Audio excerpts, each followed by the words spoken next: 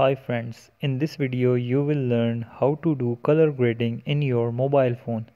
So if you haven't subscribed the channel, please subscribe the channel for more informative videos. So let's start the video.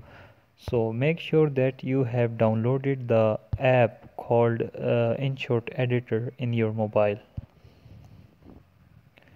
So we are going to start the process of color grading. So let's start.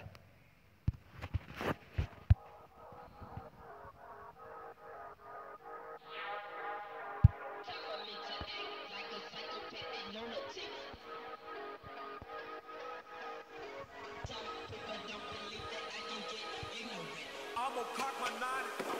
Mother.